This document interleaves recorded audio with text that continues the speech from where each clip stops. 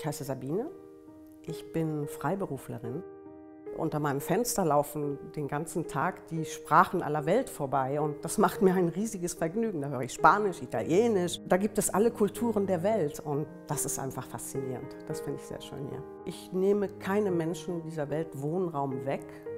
Ich habe meinen kleinen Ort, äh, der meine einzige Sicherheit und Zuflucht ist.